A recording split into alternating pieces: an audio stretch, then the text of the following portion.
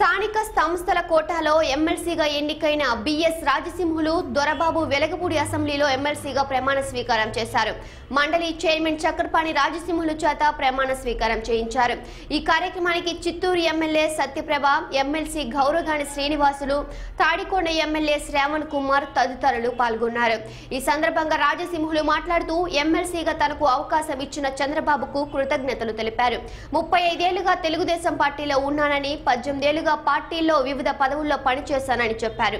చిత్తూరు జిల్లాలో త్రాగు సాగునీటి కష్టాలను ఇప్పటికే ముఖ్యమంత్రి తగ్గించారని కొన్ని ప్రాంతాల్లో ఇంకా ఈ సమస్యలు ఉన్నాయని వాటిని తగ్గించేందుకు కృషి చేస్తానని చెప్పారు. పార్టీ ఇచ్చిన బాధ్యతలను సక్రమంగా నిర్వహిస్తానని రాజసింహులు చెప్పారు. రాజ్యాంగం పట్ల నిజమైన విశ్వాసం విధేయత చూపుతానని భారతదేశ సార్వభౌమాధికారాన్ని సమగ్రతను కాపాడుతానని నేను స్వీకరించబోయే కర్తవ్యాన్ని శ్రద్ధాశక్తులతో నిర్వహిస్తానని దైవ సాక్షిగా ప్రమాణం చేస్తున్నాను. ఆంధ్రప్రదేశ్ శాసన పరిషత్ సభ్యుడైన బిఎన్ రాజసింహులు అనే నేను పరిషత్ నియామక నియామకాలను కట్టుబడి ఉంటానని వాటిని అనుసరిస్తానని పరిషత్ మర్యాదలను పాటిస్తానని సాంప్రదాయాలు గౌరవిస్తానని దైవ సాక్షిగా ప్రమాణం చేస్తున్నాను. ఒకటో తారీఖు మొట్టమొదటగా ఆంధ్రప్రదేశ్లో ఎన్నిక ఎన్నిక ఏకగ్రీవంగా జరిపిన దానికి జిల్లా తెలుగుదేశం పార్టీ గౌరవ శాసనసభ్యులు ఎంపీలు మంత్రివర్యులు అందరికీ కూడా ఈరోజు నేను మొట్టమొదటిగా వాళ్ళకందరికీ కూడా నేను కృతజ్ఞత తెలియజేస్తున్నా. ఈరోజు మా జిల్లా పార్టీ అధ్యక్షులు కానీ సెక్రటరీ కానీ అందరూ కూడా ఈ ఎన్నికని ఒక ప్రతిష్టాత్మకంగా తీసుకొని ఇనానమస్గా చేయడం.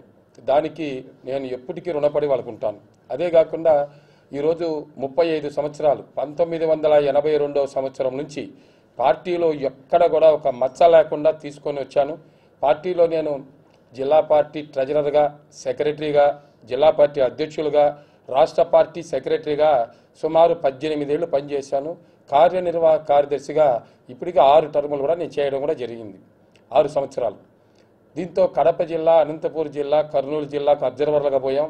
మొన్న జరిగిన ప్రతిష్టాత్మకమైన ఎన్నికల్లో మరి స్థానిక సంస్థల ఎన్నికలు కడపలో జరిగితే వైఎస్ కుటుంబం పైన ముప్పై ఐదు సంవత్సరాలు చేసిన కార్యక్రమాలు మేము తిరగరాశాం. ఈరోజు వైఎస్ కుటుంబం పైన నేను కడప జిల్లా ఇన్ఛార్జ్ ఈరోజు కూడా ఉన్నా. కడప జిల్లాలో ఆ ఎన్నిక ఒక ప్రతిష్టాత్మకంగా తీసుకున్నాం.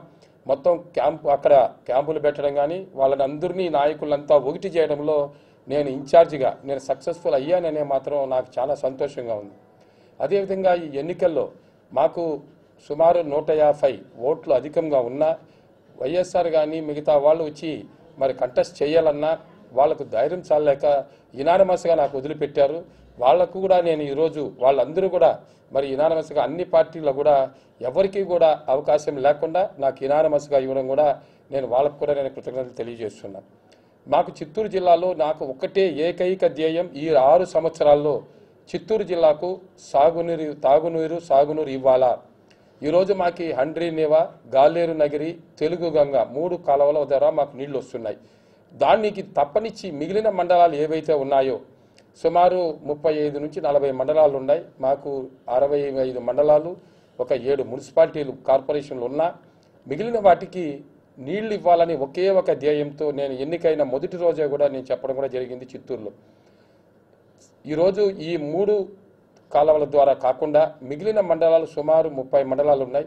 ఆ మండలాలకి నీళ్ళు ఇచ్చి అన్ని చెరువుల్లో కూడా నీళ్ళు నింపి చూసే కార్యక్రమం ఒక్కటే ధ్యేయంగా మా ముఖ్యమంత్రి గారిని నేను అడగాలనుకున్నాను. ఆయన కూడా బ్రహ్మాండంగా ఇదను మా రాయలసీమలో డెవలప్ చేస్తున్నాడు. ఈరోజు ఇక్కడ గోదావరి నీళ్ళని ప్రకాశం బ్యారేజీకి తీసుకురావడం మరి అక్కడ రాయలసీమ నీళ్ళని నాలుగు జిల్లాలకి శ్రీశైలం నుంచి సుమారు రెండు వందల టీఎంసీలు ఉంటే ఈరోజు వంద టీఎంసీలు కానీ రాయలసీమకి ఇస్తే రత్నాలసీమగా చేసే అవకాశాలు ఉన్నాయి. ఎప్పుడు కరువు బారిన పడే అనంతపురం జిల్లా కానీ కడప జిల్లా కానీ కర్నూలు జిల్లా కానీ చిత్తూరు జిల్లా కానీ వస్తే సస్యశ్యామలం అయ్యేదానికి అవకాశాలు ఉన్నాయి. అది తప్పకుండా మా సీఎం గారు చంద్రబాబు నాయుడు గారు చేస్తారు. అందులో మా ముఖ్య మా మంత్రి లోకేష్ బాబు గారు అదేవిధంగా అమర్నాథ్ రెడ్డి గారు కూడా మాకు మంత్రులు ఇద్దరు కూడా కొంత యంగ్స్టర్స్ ఉన్నారు. బ్రహ్మాండంగా మా జిల్లాని నేను డెవలప్ చేసేదానికి రెండు వేల ఇరవై మూడు వరకు నాకు టర్మ్ ఉంది ఈరోజు ఆరేండ్లు ఉంది. ఆరేండ్లలో ఒక్క నీటి సమస్యనే మాత్రం పైనే నేను ఎక్కువగా ముఖ్యమంత్రి గారికి దృష్టికి తీసుకురావాలని మాత్రం డిసైడ్ చేసుకున్నాం. మిగిలిన కార్యక్రమాలు ప్రభుత్వ పరంగా జరుగుతాయి. విద్య కానీ వైద్యం కానీ అన్ని కార్యక్రమాలు ప్రభుత్వ పరంగా జరుగుతాయి. దీనిపైన ఎక్కువ కాన్సన్ట్రేషన్ చేస్తే కరువు జిల్లాలైన నాలుగు జిల్లాను కూడా సస్యశ్యామలం చేసేదానికి ఒక అవకాశం నాకు ఉంటుందని కూడా ఈ సందర్భంగా కూడా తెలియజేస్తున్నా.